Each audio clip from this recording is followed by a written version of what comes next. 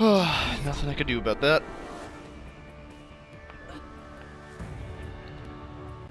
Toxic Reaper, that's a pretty accurate statement. Hey, guess what? Play the game.